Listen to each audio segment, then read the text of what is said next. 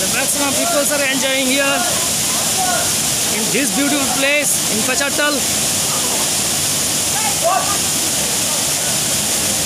This is not so far from this Pecharthal; only 6 kilometer distance from the Pecharthal town.